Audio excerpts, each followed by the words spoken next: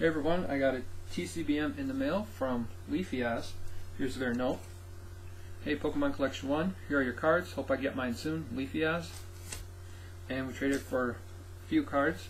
Uh, Braviary from Dragons Exalted. Gothitelle. Uh, from uh, Next Destiny, some holos. We got Moltres. A Chandelure. And Vanilluxe. And then I wanted to show this really cool figure I got. I got this a while ago, but I don't think I showed it yet. This is the really cool Zekrom. It's from a model kit from Japan. I purchased this from Shaman 1991, who's no longer active, sadly. She was very well known in the Pokemon community. Yeah, I put this whole thing together myself, and it took me, I don't know how long, like an hour and a half maybe, to put this Zekrom together. So, it's really cool, really awesome. Um, thank you, thank you guys for watching.